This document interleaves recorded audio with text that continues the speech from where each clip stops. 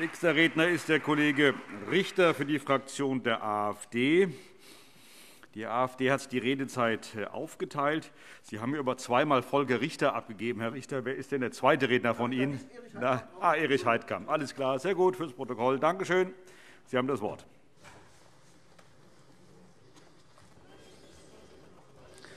Sehr verehrter Herr Präsident, meine sehr verehrten Damen und Herren, sehr verehrter Herr Ministerpräsident! Die heutige Regierungserklärung steht unter dem Motto Vorsicht, Vertrauen, Verantwortung. Dieser Dreiklang ist reaktiv und mit dem Perspektivplan schlicht nicht ausreichend, könnte aber ein erster Schritt sein. Zu den gewonnenen Erkenntnissen, die entscheidend für zukünftige Erfolge sind, wird seitens der WHO Folgendes ausgesagt. So hat die Covid-19-Pandemie nach Meinung der WHO erstens Defizite bei den Investitionen vieler Länder in Vorsorge und Gegenmaßnahmen verdeutlicht. Dies unterstreicht, dass wir überdenken und neu planen müssen, wie wir Gesundheitssysteme widerstandsfähiger gegen Notlagen machen müssen. Zweitens ist nach Meinung der WHO die strategische Planung auf Grundlage einer Bewertung der Stärken und Schwächen sowie der Gefahren, für die ein Land anfällig ist, entscheidend für eine wirksame Reaktion.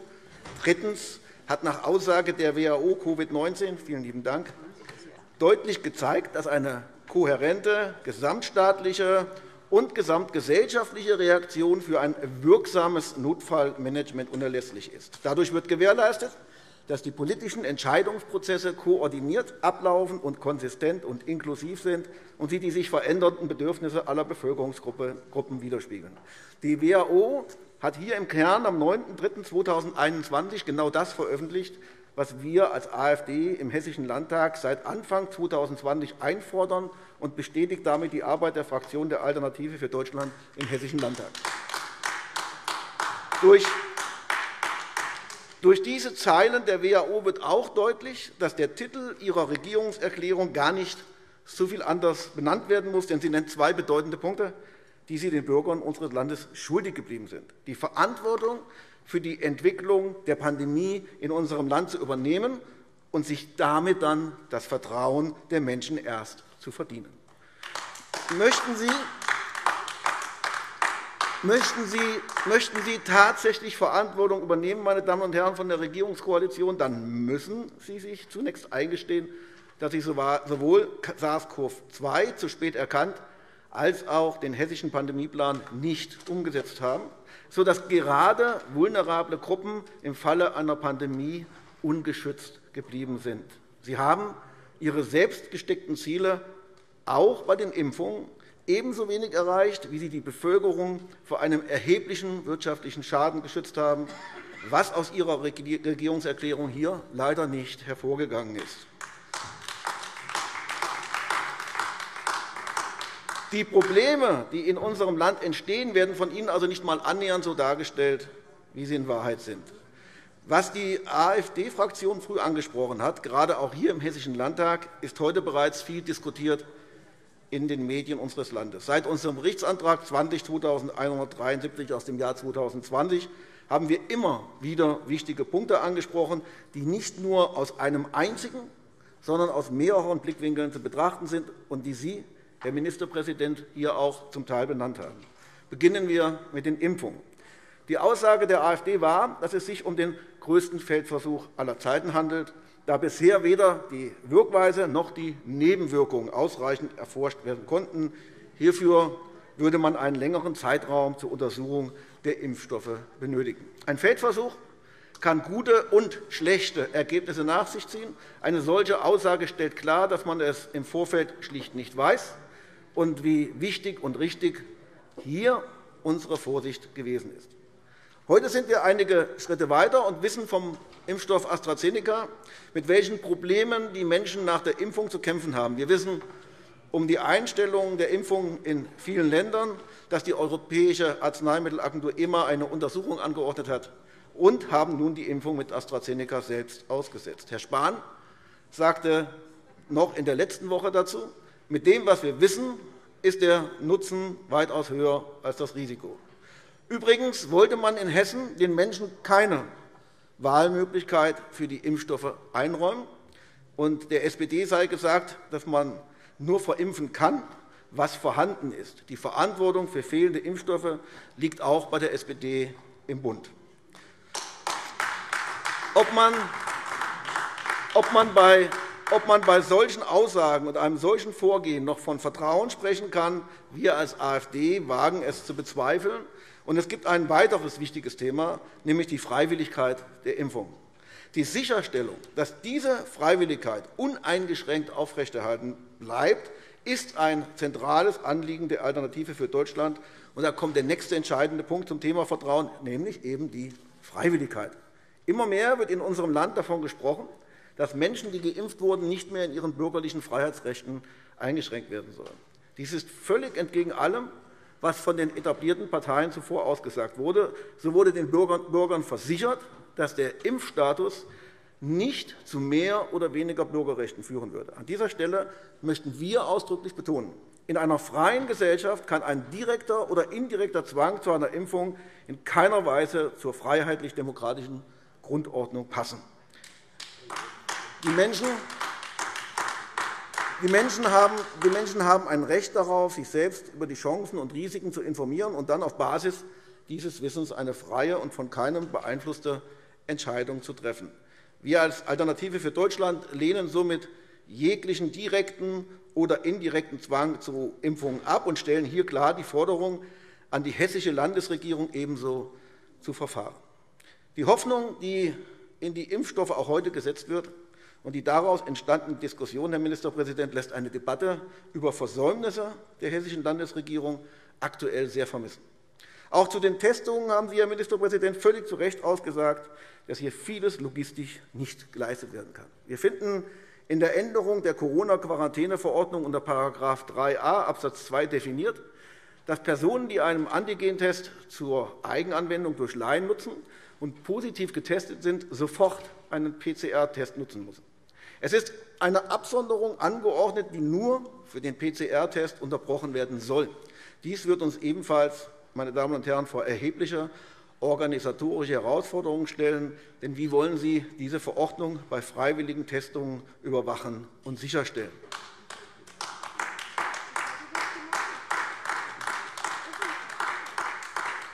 Damit sich etwas in die richtige Richtung bewegt und wir für die Zukunft vorbereitet sind, bringen wir als Alternative für Deutschland einen Antrag ein, in dem wir die regelmäßige Aktualisierung und Sicherstellung der tatsächlichen Erfüllung des Pandemieplans Hessen beschlossen haben möchten. Wir sind damit auf einer Linie mit den Aussagen der WHO, die ich zu Beginn meiner Rede zitiert habe. Es ist selbstverständlich, dass der aus dem Jahr 2007 stammende und in großen Teilen von Ihnen auch nicht umgesetzte Pandemieplan bis zum Ende des Jahres 2021 mit den bis heute gesammelten Erkenntnissen und Erfahrungen aktualisiert werden muss. Es ist unabdingbar, in Zukunft nicht nur besser vorbereitet zu sein, sondern der hessischen Bevölkerung auch die Zuversicht zu geben, dass sich das, was wir nun seit über zwölf Monaten erleben, schlicht nicht mehr wiederholt. Was, was, was darf sich nicht wiederholen? dass man in der Zukunft erneut so unvorbereitet in eine schwere Krise hineingerät, von der wir seit dem SARS-Ausbruch in dem Jahr 2002 und 2003 wissen, dass sie uns jederzeit erreichen kann. Somit müssen Politik und Bürger genau wissen, was sie umzusetzen haben, damit ein gesellschaftliches und wirtschaftliches Leben überhaupt weiter ermöglicht wird. Und allein die Ankündigung, dass man so etwas vorhat, oder auch sanfte Versuche im Hintergrund sind definitiv nicht ausreichend, Herr Ministerpräsident. Allein eine gute Vorbereitung schafft Vertrauen und dann auch Zuversicht bei den Bürgern. Was wir heute wiederum sehen, ist bei weiten Teilen der Bevölkerung das ganze Gegenteil davon. Die Menschen sind nicht nur pandemiemüde, die Menschen haben in unserem Land auch das Gefühl der völligen Hilf- und Machtlosigkeit. Das ist der eigentliche Schmerz in unserer Bevölkerung, Herr Bouffier. Die Menschen fühlen sich dem Staat zu einem großen Teil völlig ausgeliefert. Sie sind widersprüchlichen und teilweise sinnlosen Verordnungen ausgesetzt. Ihnen werden die Bürgerrechte entzogen, ihre Freiheit genommen und sind, nachdem man auch das Infektionsschutzgesetz durchgewunken hat, nicht einmal mehr in ihren eigenen vier Wänden vor dem Zugriff des Staates sicher. Die Menschen erkennen einen Staat, der gegen den Mittelstand agiert, der die Menschen auch unterschiedlich behandelt und bewertet und sie in ihrer Bewegungsfreiheit einschränkt. Sodass viele soziale Kontakte nicht einfach nur nicht mehr möglich sind, sondern auch auf Dauer komplett verhindert werden. Dies wurde vorhin genauso richtig auch ausgesagt und an Beispielen belegt. Wo werden Menschen in ihrer Bewegungsfreiheit eingeschränkt, wird vielleicht der eine oder andere fragen. Darauf gebe ich Ihnen sehr gerne eine Antwort, und zwar am Beispiel einer Gruppe von Menschen, die aufgrund von Krankheit und oder Behinderung durch die Schließung bestimmter Einrichtungen schlicht in ihrer Bewegungsfähigkeit eingeschränkt sind. Denn für viele Menschen sind medizinisch notwendige Anwendungen nicht mehr oder nur sehr bedingt möglich. Blicken wir direkt hier vor die Haustür des Hessischen Landtags, meine Damen und Herren. Da steht, aus Gründen des Infektionsschutzes bleiben die Hallenbäder und Thermen in Wiesbaden ab Montag, 2. November, bis auf weiteres geschlossen. Die Maßnahmen stehen im Einklang mit den Beschlüssen von Bund und Ländern, die Ausbreitung der Infektion einzudämmen. Hat irgendjemand in der hessischen Landesregierung auch nur den Hauch einer Ahnung, was dies für die Menschen bedeutet hat, die aus medizinischen Gründen seit Monaten dort keinen Zugang mehr haben? In, in vielen Kampagnen, Kampagnen wird zudem noch dazu aufgerufen, freiwillig aus Gründen der Solidarität zu Hause zu bleiben. An dieser Stelle möchten wir aber betonen, Menschen, die auf medizinische Anwendungen angewiesen sind, die sie aktuell nur bedingt oder überhaupt nicht bekommen, haben keine Wahl, sondern müssen in der aktuellen Situation leider zu Hause bleiben. Denn deren Schmerzen können nur noch mit Medikamenten behandelt werden.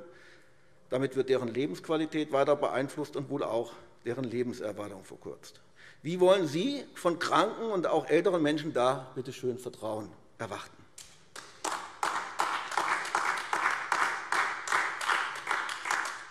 Menschen, die in unserem Land zum Teil die schlimmsten Zeiten erlebt haben, unter vielen Entbehrungen leiden mussten, die alles wieder aufgebaut haben, mit ihrer Leistung überhaupt erst ermöglichten, wovon wir alle heute zehren. Wie vermitteln Sie es diesen Menschen, dass sie sowohl in den Altenheimen als auch in der ambulanten Pflege kaum Möglichkeiten geboten bekommen, sich gesund zu erhalten? Beantworten Sie uns doch diese Frage, denn ich, ich kann diese Frage nicht beantworten und schäme mich ob Ihrer Politik, wenn mich ältere Menschen anrufen und von ihren Schmerzen, Sorgen und Nöten berichten. Die Die hessische Landesregierung ist gut beraten, sich mit kranken und älteren Menschen darüber auszutauschen und zwingend Lösungen zu erarbeiten, die dann wirklich auch hilfreich sind, Vertrauen schaffen und nicht am Ende im Herbst dieses Jahres erneut das gleiche Problem wieder aufkommen lassen. Meine Damen und Herren, Ihre Politik betrifft aber nicht allein die älteren und kranken Menschen unserer Gesellschaft. Ihre Politik betrifft in hohem Maße auch Kinder und Jugendliche. Angst Verzweiflung, Stress und Suizidgedanken sind Folge dieses Lockdowns bei vielen Kindern und Jugendlichen. Wir hatten bereits in der letzten Plenarsitzung im Februar von Ihnen gefordert, unter Einhaltung der Hygienemaßnahmen das öffentliche Leben wieder stattfinden zu lassen, damit genau so etwas nicht weiter stattfindet. Wie werden Sie dieser Verantwortung gerecht, meine Damen und Herren von der Landesregierung? Was macht Ihre Politik aus unseren Kindern? und Familien. Und wie kommen Sie dazu, diese Politik noch verantwortungsvoll zu nennen, wenn viele Familien in unserem Land nicht mehr ein- und nicht mehr auswissen?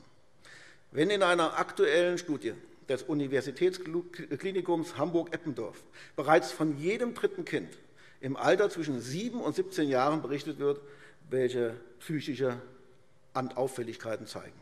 Nach einer weiteren Studie von Jugendforschern der Universitäten Hildesheim und Frankfurt am Main sind im zweiten Lockdown knapp 46% von 7.000 befragten 15- bis 30-Jährigen zustimmen zu der Aussage, Angst vor der Zukunft zu haben. Wir hören heute bereits davon, dass die Bundesregierung und viele Experten mit wachsender Sorge auf die Pandemie blicken, und man rechnet bereits mit einer dritten Welle. Im Tagesspiegel wird bereits nachgefragt, ob sie als neuer Sturm übers Land fegt oder flach gehalten werden kann. Meine Damen und Herren, unsere Gesundheit Unsere Gesellschaft verkriecht sich nicht zu Hause aus Angst vor dem Tod, sondern scheinbar eher aus Angst vor dem Leben.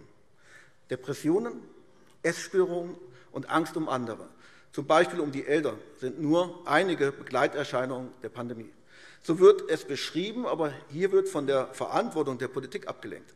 Es ist nicht eine Begleiterscheinung der Pandemie, sondern eine Begleiterscheinung völligen Versagens der Politik in unserem Land. Viele Menschen, viele Menschen glauben nicht mehr daran, dass Politiker sich überhaupt noch für ihre Sorgen interessieren.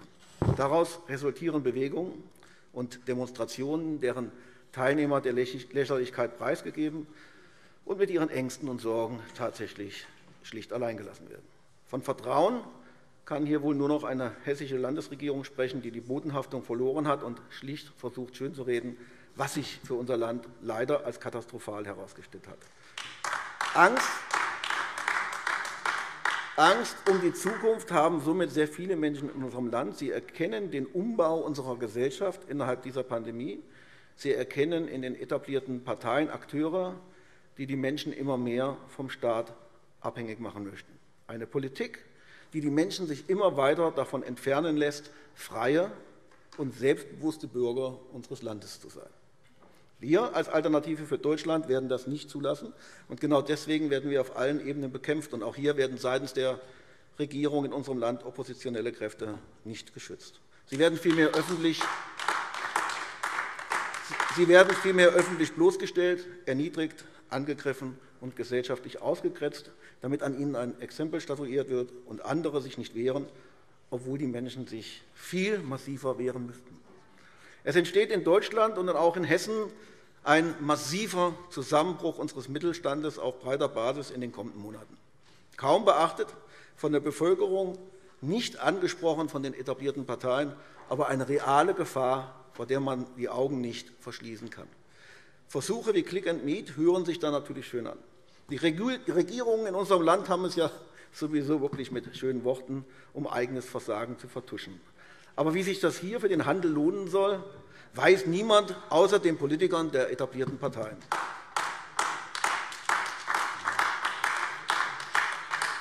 Politiker, Politiker, die zu jedem Monatsende ihr Geld überwiesen bekommen und sich um alles Gedanken machen müssen, aber nicht um Einkauf, Verkauf, Margen und Kunden.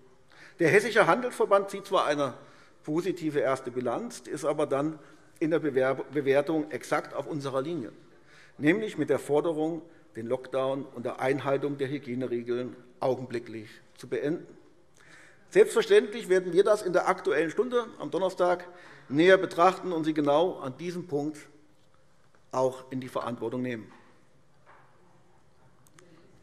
Dass die CDU mit der Politik der GRÜNEN als Regierungspartner in der Pandemie ihre ideologische Politik noch verstärken, wird unser Land nicht einfach nur lähmen, sondern schlicht um Jahrzehnte und mehr in Wissenschaft, Forschung, Industrie und Handel zurückwerfen.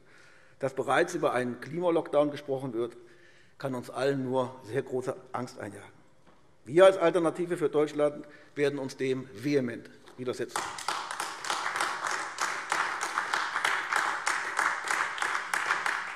Zumindest ein Teil unserer Gesellschaft wehrt sich aber Gott sei Dank bereits jetzt, und das ist wahrhaftig auch aller Ehren wert. Zahlreiche Klagen gegen diese Lockdown-Politik werden erwartet, und wir dürfen gespannt sein, was geschieht, wenn die Betroffenen mit ihren Klagen durchkommen.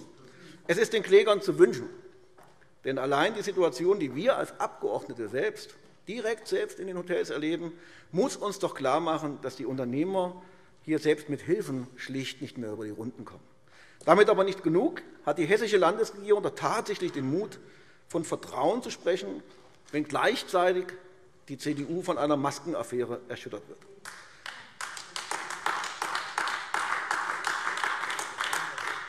Uns, uns als Opposition dürfen da nicht die Worte fehlen, aber der Bürger in unserem Land, der um seinen Arbeitsplatz bangt, der Kurzarbeit machen muss, dem die Kunden wegbrechen und der völlig ohne eigene Schuld vielleicht sogar Insolvenz anmelden muss, liest von Herrn Georg Nüßlein und Nikolaus Löbel, und dem Bürger fällt dazu wahrscheinlich wohl gar nichts mehr ein.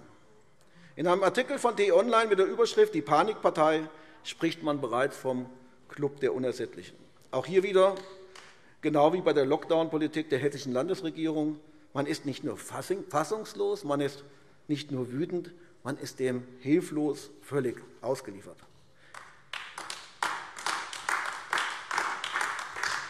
Wir als AfD-Fraktion im Hessischen Landtag unterdessen werden die Menschen in unserem Land nicht allein lassen. Wir werden ihnen weiter Gehör schenken, ihre Sorgen und Nöte ernst nehmen und deren Interessen vertreten. Für uns darf es keine Einschränkung der Bürgerrechte geben.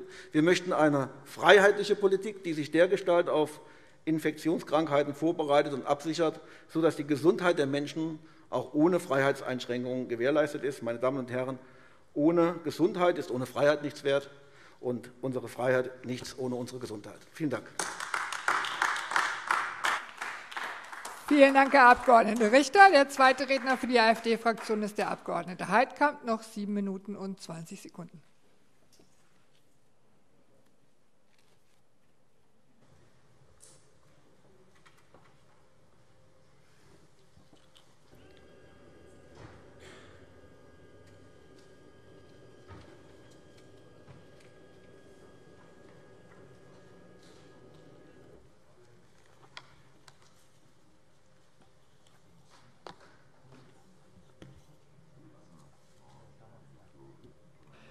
Herr Pentz, der Abg. Heidkamp würde gerne anfangen.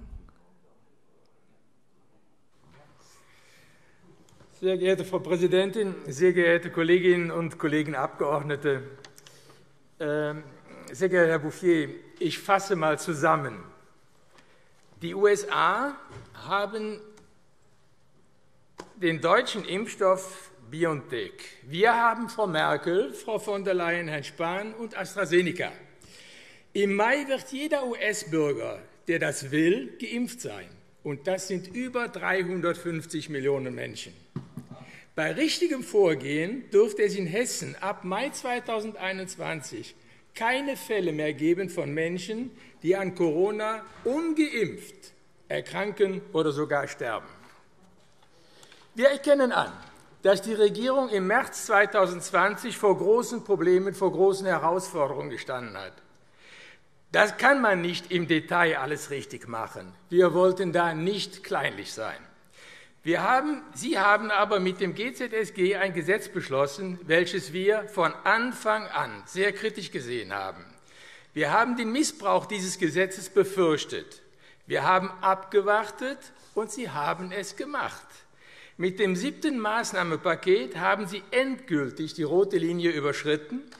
Mit dem Wasserstoff-Brennstoff Brennzellenbus, Wasserstofftankstellen und der Infrastruktur für batteriebetriebene E-Autos hat die Regierung endlich alle roten Linien überschritten. Das hat mit Corona nichts mehr zu tun.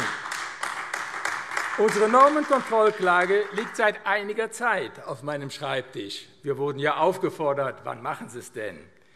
Jetzt reichen wir sie ein, mit heutigem Datum. Es geht uns auch darum, die Regierung davor zu bewahren, ein weiteres GZSG vorzulegen, welche nicht der Hessischen Verfassung, nicht dem Grundgesetz und nicht den europäischen Verträgen entsprechen würde. So wie wir in Deutschland unterwegs sind, brauchen die Regierungen bald weitere Milliarden. Dem sollten wir vorbauen. Danke schön.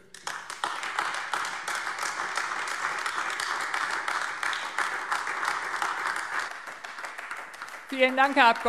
Heidkamp. Als nächstes hat sich der Abg. René Rock von den Freien Demokraten zu Wort gemeldet.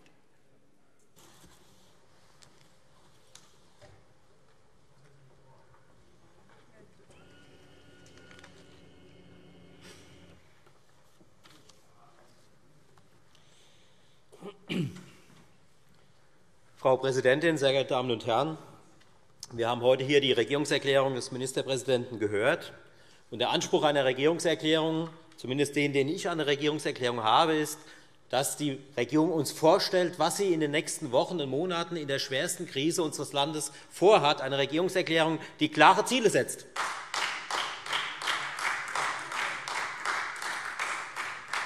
Eine Regierungserklärung, auf die man die Regierung festnageln kann, wo man sagen kann, aha, hier hat man etwas vor, hier kann man etwas diskutieren, hier hat man Ideen, hier hat man Vorstellungen, hier hat man konkrete Maßnahmen, die vorgesehen sind, um diese Pandemie wieder in den Griff zu bekommen. Denn Herr Wagner hat ja gesagt, alle Instrumente liegen auf dem Tisch. Dann bitte, Hessische Landesregierung, nutzt diese Instrumente, sehr geehrte Damen und Herren. Was haben wir gekriegt? Was war die Regierungserklärung? Was war die Kernaussage, die sich durch diese Regierung, Regierungserklärung gezogen hat? Die Kernaussage war, so habe ich es wahrgenommen, sehr geehrte Damen und Herren, im Großen und Ganzen haben wir keine Fehler gemacht. Das war Ihre Kernaussage, Herr Bouffier, und das ist deutlich zu wenig.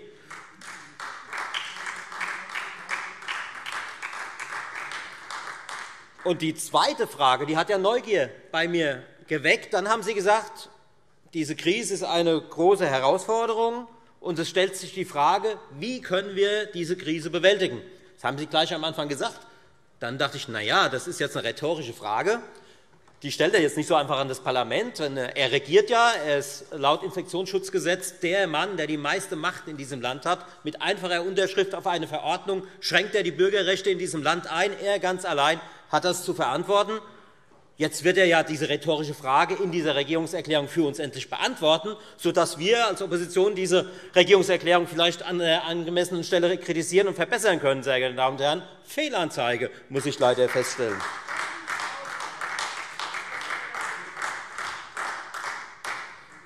Dann will ich aber doch noch einmal ein bisschen Wasser in den Wein dieser Landesregierung schütten. Und, äh, lieber Herr Wagner, wenn Sie hier vorne stehen und sagen, na ja, keiner weiß es besser, alle müssen doch äh, einsehen, dass keiner es besser macht als die Hessische Landesregierung, gibt keine besseren Vorschläge. Und Im Übrigen ist es doch alles eine Selbstverständlichkeit, dass hier gemacht wird. Und ich kann Ihnen nur sagen, ja, wenn ich nach Europa gucke, finde ich bestimmt doch ein Land, da läuft es noch schlechter. Da läuft es noch schlechter, garantiert. Aber ich kann auch den Blick mal heben ich kann den Blick mal heben und ich kann mal woanders in die Welt hineinschauen. Und dann kann ich mal nach USA schauen, über die wir gelacht haben seit Monaten. Und dann kann ich mal nach Israel schauen. Ich kann auch nach Asien schauen. Und dann sehe ich, dass Deutschland eben und Hessen eben nicht Spitze ist, sondern dass man vieles besser machen kann, wie das, was wir hier in diesem Land machen.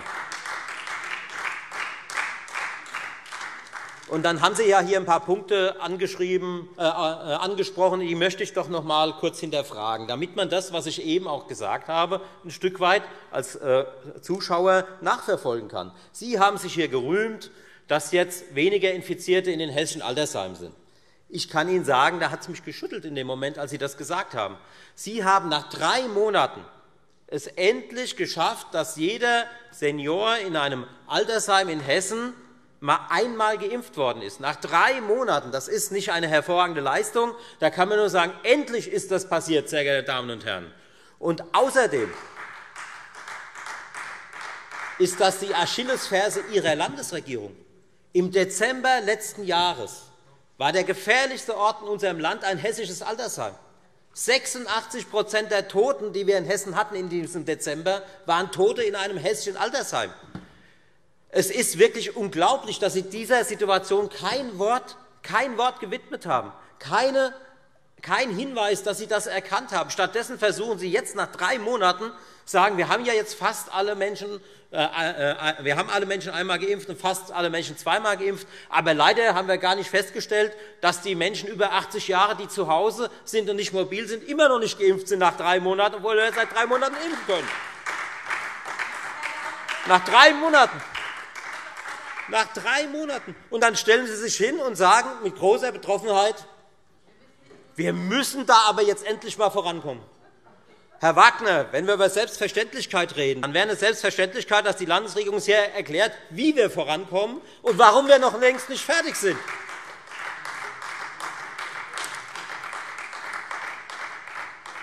Wir sind ein Jahr in der Pandemie.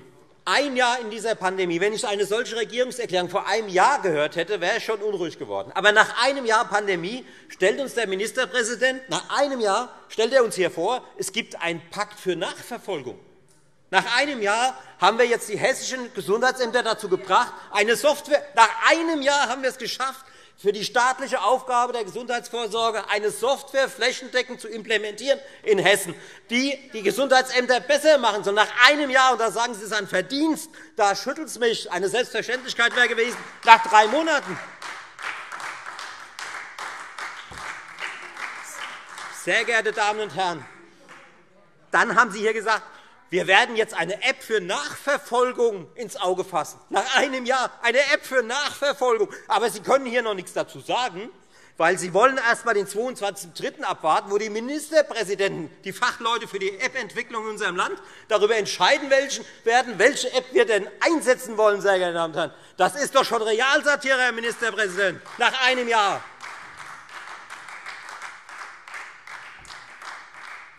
Wirtschaftshilfe Novemberhilfe, die bis heute noch nicht vollständig ausgezahlt wird. 150 Millionen € für Impfzentren ausgegeben für drei Monate. Die haben 100.000, 300.000 oder 400.000 Menschen geimpft. hat jede Impfung 500 € gekostet. Das verkaufen Sie uns hier als Erfolg. Impfzentren, die Hunderttausende von Menschen impfen können, haben 300.000 Menschen geimpft, haben 150 Millionen € gekostet.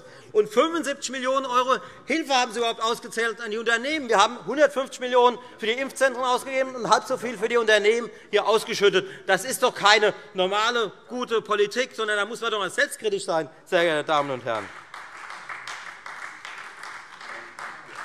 Und, sehr geehrte Damen und Herren, jetzt haben Sie hier vorgetragen, Herr Wagner oder der Ministerpräsident, wir haben die Instrumente. Impfen, testen, testen, impfen, nachverfolgen. Das sind die Instrumente. Und was hören wir jetzt hier in Ihrer Rede? Ja, wir, haben jetzt, wir werden jetzt Tests anschaffen. Sie haben nicht gesagt, bis wann die kommen. Sie haben auch nicht gesagt, wann denn jetzt diese Selbsttests denn eingesetzt werden an den Schulen. Sie haben nur irgendwas in Aussicht gestellt. Sie haben kein Datum gesagt. Und Sie haben gesagt, ja, die PCR-Tests oder die Schnelltests können wir gar nicht machen. Warum können wir die nicht machen? Da brauchen wir 1.900 Leute, die die an unseren Schulen durchführen. Und das sind diese 1.900 Leute, die einmal in der Schule so einen Test machen. Das ist eine Herausforderung, die das Land Hessen für seine Schülerinnen und Schüler nun mal nicht stemmen kann. Das kann man doch von uns nicht verlangen. Und darum machen wir das auch nicht für unsere Schulen. Das geht doch nicht. Das ist ausgeschlossen. 1.900 Menschen, die morgens so einen Test machen, damit unsere Schülerinnen und Schüler nicht ihre Bildungskatastrophe erleben und damit die Lehrerinnen und Lehrer sicher sind in unserem Land. Da kann man doch nicht irgendwie ein privates Unternehmen beauftragen, wenn man es selbst nicht hinkriegt, und kann solche Tests versuchen umzusetzen für ein Sondervermögen von zig Milliarden, das wir hier für Ihre wunderbare schwarze Kasse angeschafft haben, sehr geehrte Damen und Herren. Und das große Geheimnis Ihres Perspektivplans, das haben Sie auch nicht gelüftet. Also Inzidenz ja, Inzidenz nein, Inzidenz 50, Inzidenz 35. Dann, was, ist mit den, was, was zählen jetzt die äh, Krankenhäuser, die Belegung der Intensivbetten, wie ist das mit dem R-Wert? Sie haben mir alles aufgezählt, was es gibt, aber wie das im Zusammenhang steht und was das für die Menschen bedeutet, ob jetzt geöffnet wird oder nicht, wenn welcher Wert erreicht ist, da haben Sie kein Wort gesagt. Das ist eine Blackbox, eine völlige Blackbox. Und wenn ich jetzt, äh, Sie haben ja dankenswerterweise ein bisschen Redezeit draufgelegt, aber ich kann diese Versäumnisse dieser Landesregierung einfach nicht aufzählen. Da würde auch eine Stunde nicht reichen. Und Sie haben es nicht geschafft, in Ihrer Rede darauf einzugehen.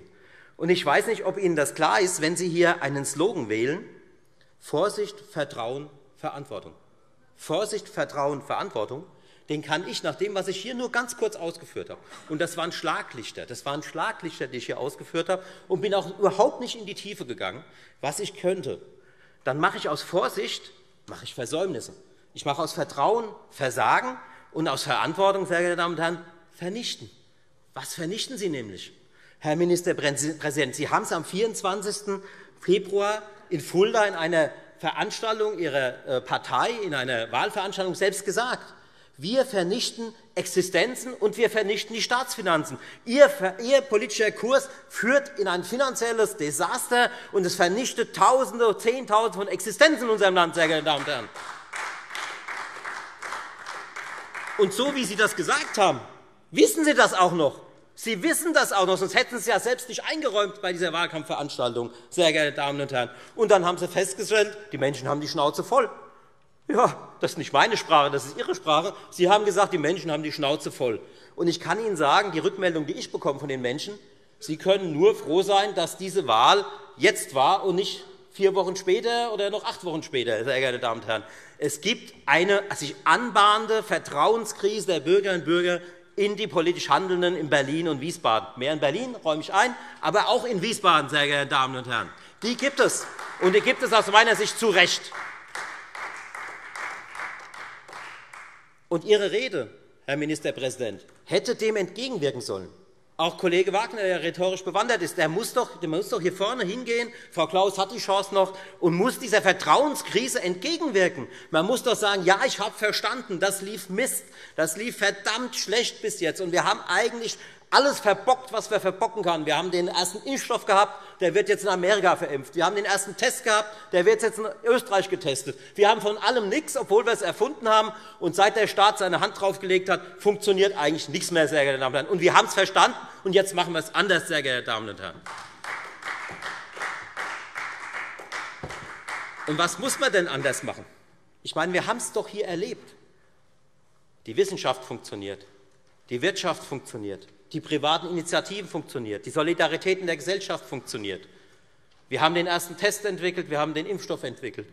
Der Einzelhandel, egal was Sie sich einfallen lassen, reagiert innerhalb von Tagen, setzt es um. Fitnessstudios versuchen jetzt auf den, auf den äh, Parkplätzen zu arbeiten, damit Menschen ihre Gesundheit erhalten können.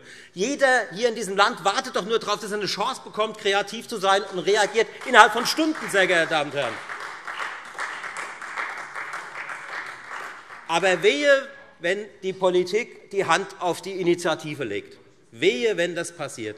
Und das müssen Sie doch erkennen. Und die Menschen haben es erkannt. Und sie haben die Nase voll. Ich sage jetzt nicht Ihr Wort, ich sage, sie haben die Nase voll. Und Sie müssen jetzt endlich erkennen, dass Sie besser werden müssen, sehr geehrte Damen und Herren. Die Politik in Berlin und in Wiesbaden muss endlich besser werden, sonst nimmt diese Demokratie Schaden, sehr geehrte Damen und Herren. Und dass sie besser werden kann, will ich jetzt einmal ganz kurz ein paar Vorschläge machen. Als erstes müssen wir aus diesem reaktiven Modus raus. Dieser reaktive Modus, der nur auf eine Zahl startet und sagt, oh Gott, oh Gott, oh Gott, oh Gott. Wir müssen mal vor die Welle kommen. Wir müssen mal mutig versuchen, voranzugehen und mit unseren Initiativen mal selbst initiativ werden und nicht immer nur dem Virus hinterherlaufen. Und was können wir denn machen? Also als erstes Mal eines der größten Versäumnisse ist der Umgang mit der Digitalisierung in diesem Land. Der Umgang der Digitalisierung und am allerhärtesten zeigt sich das in der öffentlichen Verwaltung, aber vor allem in unseren Schulen, sehr geehrte Damen und Herren. Dieses Versäumnis der Digitalisierung muss endlich aufgeräumt werden. Und da gibt es auch keine Entschuldigung. Da muss jetzt endlich einmal mit höchstem Hochdruck daran gearbeitet werden. Und dann bitte, jetzt machen Sie es doch einfach einmal. Der öffentliche Gesundheitsdienst ist die staatliche Aufgabe in der Krise. Der öffentliche Gesundheitsdienst ist die stärkste Waffe des Staates in dieser Pandemiekrise. Dann machen Sie doch den öffentlichen Gesundheitsdienst endlich zur Chefsache, übernehmen Sie die Verantwortung, greifen Sie durch und sorgen Sie dafür, dass da optimal gearbeitet werden kann mit den besten Ressourcen, die Deutschland zur Verfügung stellen kann. Und schieben Sie sich nicht den schwarzen Peter hin und her und versuchen immer, die Schuld nach unten wegzudrücken und nachher zu sagen, der Landrat X hat ja womöglich nicht richtig gearbeitet. Nein, das ist eine staatliche Aufgabe. Gesundheitsschutz. Übernehmen Sie den, machen Sie ihn zur Chefsache. Und damit äh, haben Sie eine klare Verantwortungszuteilung und können auch die Ressourcen zur Verfügung stellen, die notwendig sind. Und jetzt dieses Hin und Her mit den Ärzten, Herr Wagner. Selbstverständlich ist es ein Hin und Her mit den Ärzten. Vielleicht hören Sie nichts aus der Kassenärztlichen Vereinigung, vielleicht hören Sie nichts von Ärzten, vielleicht wenden die sich ja nicht mehr an die GRÜNEN. Das glaube ich aber nicht. Ich bin mir sicher, dass Sie auch etwas gehört haben, dass die Ärzte unzufrieden sind mit dem Umgang, dass die Ärzte längst impfen könnten. Und natürlich sollten die Ärzte entscheiden können, welcher ihrer Menschen, für die sie zuständig sind, am dringendsten braucht. Dafür sind die nämlich ausgebildet, haben drei Staatsexamen und haben ein Verantwortungsgefühl. Und die Menschen vertrauen diesen Menschen mehr als dieser Landesregierung und ihren Verordnungen, sehr geehrte Damen und Herren. Was soll denn dieser Pilotversuch, diese Einschränkung? Die Ärzte sind es gewohnt zu impfen. Das ist ihr tägliches Brot. Die müssen nicht angelernt werden. Die müssen auch nicht informiert werden über die Risiken. Das ist ihr Geschäft. Und darum müssen die Ärzte auch das Rückgrat des Impfens sein. Und genau das fordern wir von ihnen. Und ich sage es noch einmal, ich habe es vorhin schon einmal gesagt. Es kann doch nicht sein, dass jemand, der über 80 ist, zu Hause gepflegt wird im Dezember war das für ihn wirklich gut, weil er weil wenn, ich, wenn er über 80 gewesen wäre, in einem hessischen Altersheim gewesen, hätte er ein zwölffach höheres Sterberisiko gehabt, als wenn er zu Hause gepflegt wird. Aber jetzt sind die Altersheime geimpft, und Sie haben diese Menschen vergessen. Sie haben diese Menschen einfach vergessen. Sie haben es vergessen, um diese Menschen zu kümmern. Und darum müssen Sie das endlich nachholen. Und da sind auch die Ärzte die richtigen ähm, Menschen, die Sie da unterstützen können. Ich habe auch nichts von Ihnen gehört zum Thema Wirtschaft, was ich irgendwie als Lichtschimmer sehen können. Sie haben zwei, dreimal über einen Perspektivplan geredet. Das Problem ist, da stehen Zahlen, da stehen irgendwelche Daten, aber wann wird das denn verbindlich? Wann geben Sie der Wirtschaft ein klares Okay? Ich glaube, Sie haben vom Einzelhandel gehört, was die von dem Click und Meet halten. Ja, also das äh, war nicht der durchschlagende Erfolg. Vielleicht war es auch nur ein Placebo vor der Wahl, noch einmal, um die Menschen zumindest zu beruhigen. Den Einzelhandel haben Sie damit nicht beruhigt. Zumindest ist das, was wir hören, ist das noch nicht der Durchbruch. Und von daher müssen wir doch da auch besser werden. Wir müssen auch einspringen im Zweifel, wenn der Bund es nicht hinbekommt. Dann müssen wir in die Verantwortung gehen. Das tut mir leid, man kann nicht immer nur die Verantwortung wegschieben. Und der Einzelhandel, die Gastronomie braucht eine klare Botschaft. Die brauchen Hoffnung und die brauchen klare Daten, damit sie wissen, wann sie unter welchen Bedingungen, Hygienebedingungen öffnen können. Und das ist unsere Forderung, sehr geehrte Damen und Herren. Und Janke Pürsün hat es ja vorhin gefragt. Was ist denn mit der größten Arbeitsstätte in unserem Land? Was ist mit dem Frankfurter Flughafen? Was ist mit all dem, was da dranhängt?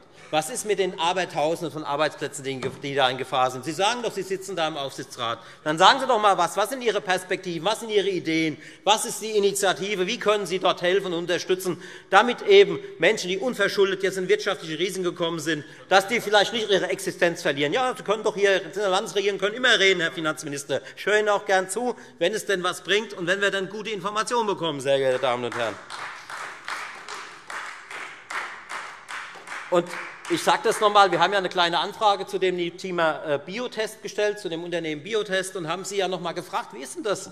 Wenn wir jetzt ein äh, innovatives Unternehmen haben, das ein Medikament gegen die Corona-Erkrankung entwickelt und zur Verfügung stellen kann, warum hat die Landesregierung nicht unterstützt? Ich kann Ihnen nur sagen, Versäumnisse über Versäumnisse, und da müssen wir besser werden, dort, wo in Hessen Möglichkeiten bestehen die Pandemie zu bekämpfen. Da muss man Lösungen finden und nicht Gründe, warum man sich verweigert, warum jemand anders die Verantwortung äh, äh, trägt für das Versäumnis, sondern man muss Lösungen finden, damit es vorangeht in dieser Pandemie, sehr geehrte Damen und Herren. Und jetzt lassen Sie mich noch zum Abschluss auf das Thema Bildung kommen. Seit Mitte Dezember haben Sie Hausarrest verhängt für Abertausende von Kindern in unserem Land. Früher in der schwarzen Pädagogik war Hausarrest ein Mittel, mit dem man Kinder abstrafen wollte. Die Kinder sind zu Hause. Die sind seit Wochen zu Hause und alleine. Und sie haben keine Möglichkeit, das zu tun, was Kinder in dieser Zeit tun. Sie haben nicht die Möglichkeit der Bewegung, der Freiheit, das sich ausprobieren, das Lernen, Freunde kennenlernen. Seit Wochen und Wochen, seit Monaten ist diese Situation. Und natürlich hat das psychische Auswirkungen auf die Menschen. Und wenn es in den Familien an einer Stelle schwierig wird, dann wird es auch wieder an anderen Stellen schwierig, wenn die Eltern Angst um ihre Existenz haben, wenn ich in geringen oder in kleinen Wohnungen lebe, wenn ich keinen Balkon habe oder wie wahrscheinlich viele hier ein Familienhaus mit äh, einem Garten, in den ich mal rausgehen kann. Was ist denn das, was, was ist denn das, was Sie hier dieser Gesellschaft zumuten? Und ist es tatsächlich so, dass eine Teststrategie, die alle Kinder testet, bevor sie in die Schule gehen, ist das wirklich zu teuer für unser Land? Oder ist es wirklich nicht umsetzbar in unserem Land? Ist es uns das nicht wert in unserem Land? Ich kann sagen, für die Freien Demokraten ist es das wert. Und für die Freien Demokraten finden wir auch dafür Geld, damit diese Kinder wieder in die Schule gehen können. Und von daher, liebe Landesregierung, ich habe Ihnen jetzt fünf Themen aufgezählt, wo Sie Verantwortung tragen und wo Sie sofort als Landesregierung handeln können, um die Situation in unserem Land zu verbessern. Um das, was der liebe Kollege Wagner hier als Selbstverständlichkeit erklärt hat und wo er uns ja erklärt hat, wir haben jetzt die Instrumente, die Pandemie in den Griff zu bekommen. Ich habe Ihnen fünf Punkte genannt, an denen Sie genau das machen können. Und, sehr geehrte Damen und Herren, wir haben dazu auch Gesetzentwürfe eingebracht. Wir haben dazu auch ganz klare Gesetzentwürfe eingebracht. Sie können nicht sagen, wir hätten keine Vorschläge. Wir haben ganz konkrete, nachvollziehbare Anträge hier gestellt. Und wir haben in Dutzenden von Anfragen Sie schon auf Ihre Versäumnisse seit einem Jahr hingewiesen. Und es gibt keine Entschuldigung mehr, nicht sofort zu handeln. Und dieses Hangeln von Ministerpräsidentenkonferenz zu Ministerpräsidentenkonferenz, das bringt doch unser Land nicht weiter. Wir müssen Ideen entwickeln, und wir müssen klar sagen, wie wir vorankommen wollen. Und dann gehen wir mit diesem Wissen und Erkenntnissen in diese Ministerpräsidentenkonferenz und sagen, so machen wir es, weil so funktioniert es in unserem Land. Und wenn man dann auch einmal daneben greift es funktioniert auch mal nicht, das kann auch passieren dann stellt man sich der politischen Verantwortung. Nämlich genau dafür ist man gewählt worden. Man kriegt doch diese Besoldung, man kriegt doch diese Vergütung, man kriegt doch dieses Geld nicht, weil man hier einen Beamtenjob macht, sondern Sie haben die politische Verantwortung für das Vorangehen in unserem Land. Und die ist jetzt schwierig, das glaube ich. Aber dafür sind Sie gewählt, und darum werden Sie endlich der Verantwortung gerecht, sehr geehrte Damen und Herren.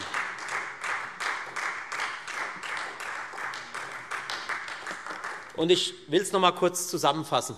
Diese Pandemie hat uns etwas gelehrt. Diese Pandemie hat uns gelehrt, das wird die linke Seite in dem Haus vielleicht nicht so gern hören, der Glaube, der Staat könnte alles lösen. Ich glaube, das ist bei den Menschen klar hinterlegt worden, dass das nicht der Fall ist. Dass das nicht der Fall ist. Der Staat ist nicht der bessere Wissenschaftler, und der Staat ist nicht der bessere Unternehmer, der Staat ist nicht der bessere Logistiker, sondern der Staat soll Regeln aufstellen, und er soll seine Dienstleistungen zur Verfügung stellen, die notwendig sind. Er soll Bildungsgerechtigkeit garantieren. Der Staat ist nicht der Retter in dieser Krise.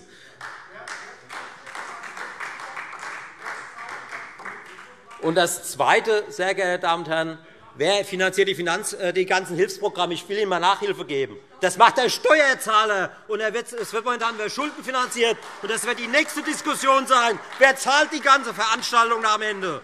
Das wird die zweite, zweite Sache sein hier, sehr geehrte Damen und Herren. Und noch nie, meine letzte, mein letzter Satz, noch nie hat eine Bundesregierung und eine Landesregierung so viel Macht gehabt. Noch nie hat es eine solche Machtfülle in den Händen der Regierenden gegeben. Und noch nie hat man sich davor gescheut, Verantwortung zu unternehmen wie in dieser Krise. Sehr geehrte Damen und Herren, Sie haben die Macht dazu, Sie haben die Instrumente. Handeln Sie endlich zum Wohl unseres Landes. Sehr geehrte Damen und Herren, vielen Dank. Vielen Dank, Herr Abg. Rock.